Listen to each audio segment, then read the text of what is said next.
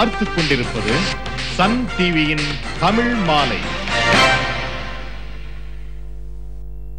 அணில் சேமியாவின் அணில் ஊறுகாய் வழங்கும் அன்பான தீபாவளி நல்வாழ்த்துக்கள். திருச்சி ஆனந்தா கார்பரேஷனின் தித்திக்கும் தீபாவளி நல்வாழ்த்துக்கள்.